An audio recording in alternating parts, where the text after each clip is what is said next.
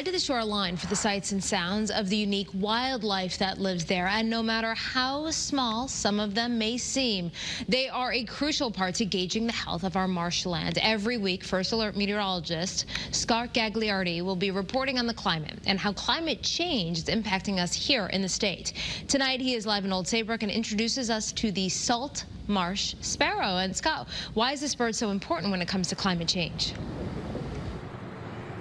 Yeah, that's right, Stephanie. So the salt marsh sparrow has been a bird that is uh, scientists have referred to as the canary in the coal mine, so to speak, and it's because of where these birds place their nest, just a few inches above the high tide line. But with high tide becoming higher, these birds have yet to adapt to the changes in sea level rise.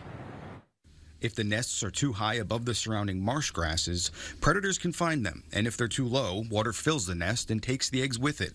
This is causing a rapid decline of their population. Birds will go extinct sometime between the mid 2030s and the mid 2060s. So, That's the timeline Chris uh, Elphick, a biologist at the University of Connecticut, says is possible given current projections. Increasing research, preservation, and adaptation efforts are the only way to ensure the salt marsh sparrow's survival, but even that is slim. It's the only species of songbird that exclusively nests in the marshland here in Connecticut, and over 80% of their population have disappeared in recent years. This is leading experts to sound the alarm. It's not like you cut down all the forest and then there's no habitat. You know, there's still a marsh here, but the marsh is changing. Um, and given enough time, the marsh will disappear.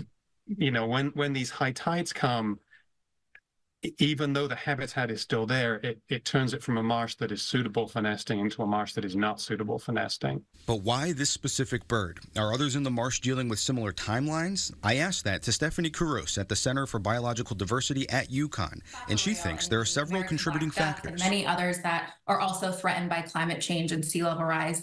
And it's really all part of this worsening wildlife extinction crisis of our own making.